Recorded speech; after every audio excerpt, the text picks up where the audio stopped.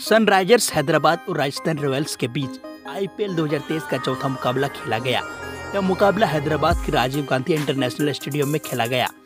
इस मुकाबले में हैदराबाद की टीम को बहत्तर रनों से करारी हार झेलनी पड़ी। इस टीम ने पहले गेंदबाजी करते हुए और फिर बल्लेबाजी में भी खराब प्रदर्शन किया। वही राजस्थान रॉयल्स की टीम इस मुकाबले में बड़ी ही बुरी तरह से भुवनेश्वर एंड कंपनी पर हावी रही। हैदराबाद टीम के सबसे महँगे खिलाड़ी हैरी ब्रुक्स राजस्थान के खिलाफ ज़्यादा करिश्माई पारी नहीं खेल सके और सस्ते में आउट होकर पवेलियन लौटे। इतनी शर्मनाक हार को देखकर मैदान में मैच देखने आई काव्या मारन को मुँह ही उतर गया। काव्या काफ़ी ज़्यादा निराश होती ही कैमरे में कैद हुई।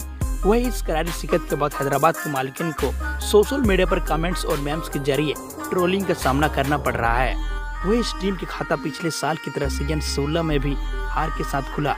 राजस्थान के सामने पूरी टीम बल्ले और गेंद दोनों से घुटने टेकते हुए नज़र आई। इस हार को देखकर हैदराबाद की मालकिन काव्या मारन को सोशल मीडिया पर ट्रोल किया जा रहा है। फैंस तरह तरह के कमेंट्स कर मीम्स के ज़रिए उनका मज़ाक उड़ा रहे हैं।